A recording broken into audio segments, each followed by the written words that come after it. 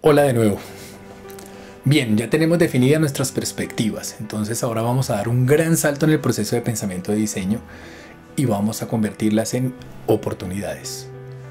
Esta actividad nos tomará entre 20 y 45 minutos, es de carácter práctico y nivel de dificultad medio.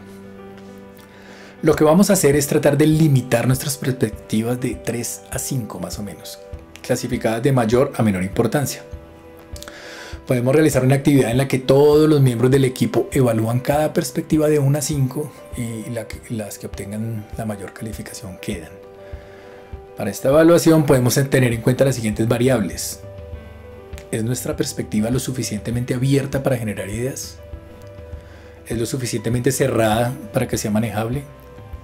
¿Está enfocada directamente en responder a alguna necesidad de nuestro desafío?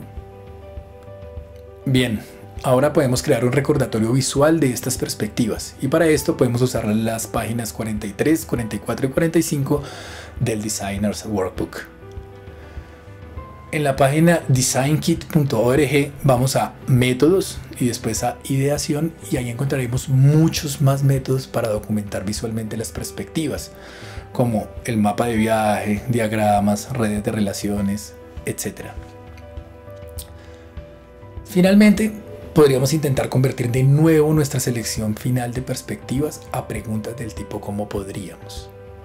Evitando preguntas que ya tengan implícita la respuesta. Podemos sentir que es agotador este proceso de estar re-redactando todo el tiempo las mismas ideas, pero esto nos garantiza que a esta altura del proceso conocemos al máximo nuestro desafío de diseño y podemos delimitarlo y por lo tanto hacerlo viable.